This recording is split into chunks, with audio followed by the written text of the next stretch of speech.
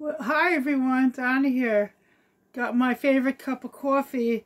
It's it's the Italian blend. I get it from the deli.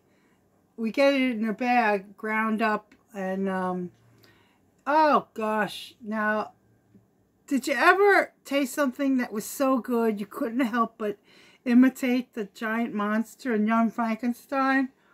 Ready? Mmm. Ah, ah. oh, have some soup.